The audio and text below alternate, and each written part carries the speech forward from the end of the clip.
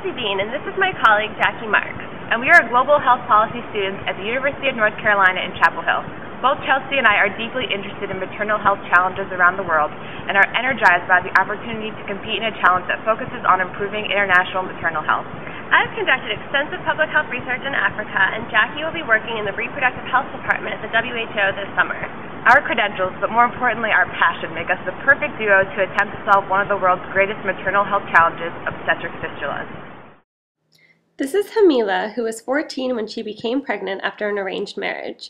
After four days of painful labor, Hamila gave birth to a stillborn child and was left with an obstetric fistula. Each year, 100,000 women like Hamila are affected by this condition. According to the organization End Fistula, an obstetric fistula is an injury of childbearing that is caused by several days of obstructed labor without timely medical intervention. The consequences of fistula are life-shattering. The baby usually dies and the woman is left with chronic incontinence due to a hole in her birth canal. She is often abandoned or neglected by her husband and family and ostracized by her community. Without treatment, her prospects for work and family life are greatly diminished and she is often left to rely on charity. One of the major causes of obstetric fistulas is obstructed labor. Many women who suffer from obstetric fistulas are living in very rural areas, have an obstructed or prolonged birth, and do not have access to medical care, and therefore do not go to a medical clinic when there is an obstetrical emergency. Each year, 100,000 new obstetric fistula cases occur worldwide, while zero occur in the U.S. Clearly, this is a preventable condition. The best way to prevent an obstetric fistula is to reduce the amount of time of obstructed labor, which is precisely what our proposal, Mobiles for Mothers, attempts to do in Malawi, one of the countries with the highest rates of obstetric fistulas in the world. It's as easy as this. Mobiles for Mothers is a specialized cell phone application that tracks patients throughout their pregnancy using text messages as the primary means of communication. Our application will provide expecting mothers with valuable prenatal advice and will allow mothers to text in when their labor commences. After 24 hours of labor, the system will automatically alert local health workers that a prolonged and possibly obstructed labor is in progress.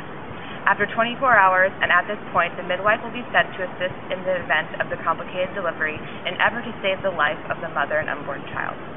Let's use Hamila as an example again. Had Hamila had been able to access the Mobile for Mothers program, she would have gone to her local clinic at the beginning of her pregnancy and registered with Mobiles for Mothers. By registering with our application, she would have received a complimentary rental cell phone for the duration of her pregnancy and have provided us with valuable information on her health status, which would aid us in tracking her throughout her gestational period.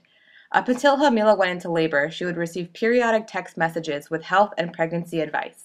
Hamila or one of her family members would have texted mobiles for mothers indicating when Hamila went into labor. In return, a live person would text her phone back to retrieve live critical health information such as timing of contractions and the progress of the labor. The attendants at Mobiles for Mothers would track her labor closely. In the event that the labor exceeds 24 hours, Mobiles for Mothers would send a trained midwife by motorcycle ambulance to aid Hamila through the rest of her delivery. The midwife would be able to safely and professionally deliver the baby and attempt to prevent any further complications. If Hamila's labor resulted in an obstetric fistula, the midwife would also be able to conduct corrective surgery at her home. If the labor was deemed to be too dangerous, the midwife would have transported Hamila to the clinic in a motorcycle ambulance.